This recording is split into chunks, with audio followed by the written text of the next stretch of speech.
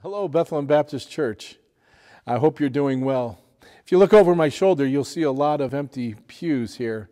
And for the last several weeks, I didn't see anybody sit in any of these pews.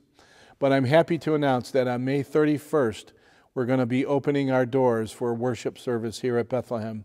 There's going to be some changes. There are going to be some things that we're going to do a little different.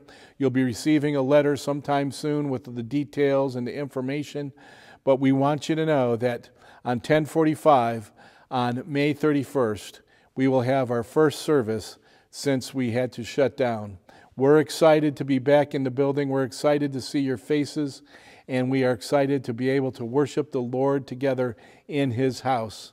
I hope that you're as excited as I am, and I hope that you will understand some of the things that we are going to have to do to keep things safe, to help people feel safe as we move forward during this time.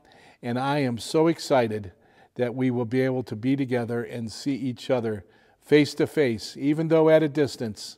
We can still see each other and still see each other smile.